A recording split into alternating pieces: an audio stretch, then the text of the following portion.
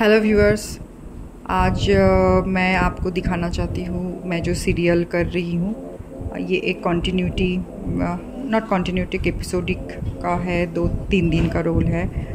और uh, इसमें जो मेरा कैरेक्टर है उसमें मुझे बिल्कुल भी सुंदर नहीं दिखना है। So there was no makeup on my face in instead मेरे फेस में कुछ ब्लैक uh, कलर डाल के उसको थोड़ा डार्क किया गया था ताकि मैं बहुत बीमार बीमार सी दिखूँ और मेरे हाथ में और गले में प्रोस्थेटिक मेकअप हुआ था।